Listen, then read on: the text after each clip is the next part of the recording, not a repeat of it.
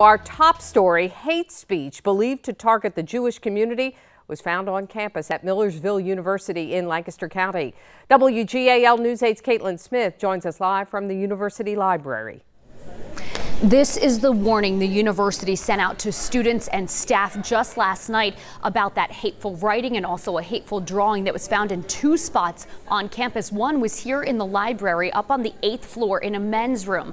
That one, according to the warning, was a swastika that was discovered October 23rd. The most recent words were also found in a men's bathroom at the Gordinier Dining Hall yesterday afternoon. In light of the Pittsburgh Tree of Life synagogue shooting, the university feels feels that writing and that symbol could cause fear on campus.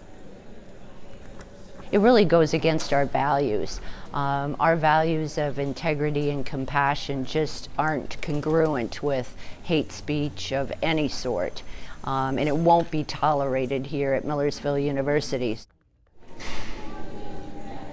The university says it is processing the writing for fingerprints. Whoever is responsible could face criminal charges, and if it is a student, could be expelled. In Lancaster County, Katelyn Smith, WGAL News 8.